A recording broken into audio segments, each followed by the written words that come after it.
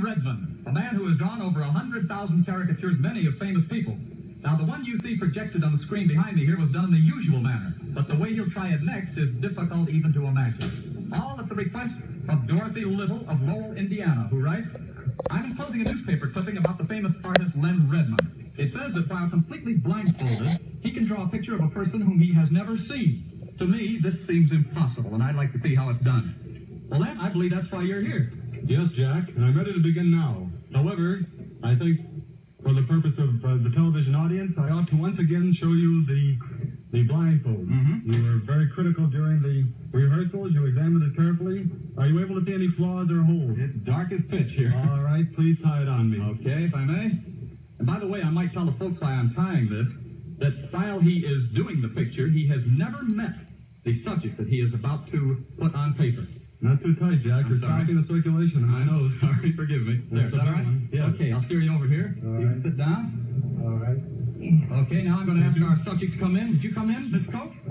Miss Coke, may I ask you a question? Have you ever seen Lenn Redman before? No, I haven't. Lenn, have you ever seen Miss Coke before? No, not to my knowledge. All right, would you sit down right over here, please?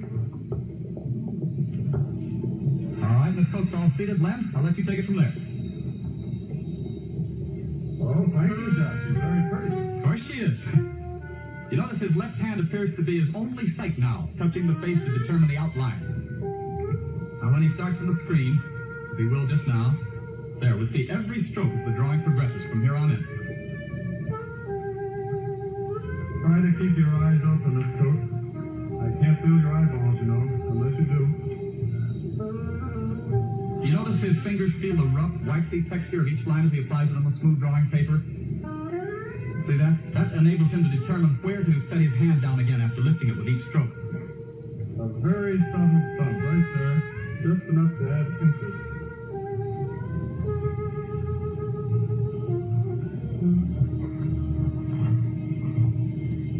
You know, when we were rehearsing this afternoon, of course, Miss Cook wasn't here, and a lot of the crew let him try it out, and it's absolutely amazing the result.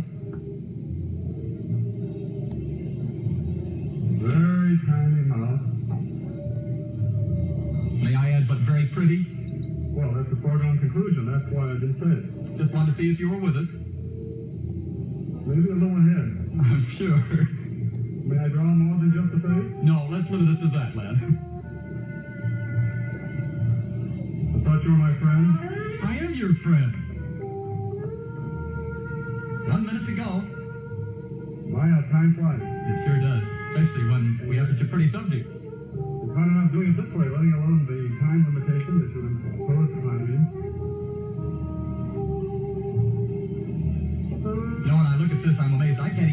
straight line. I wish I could. You do all right with the curved one.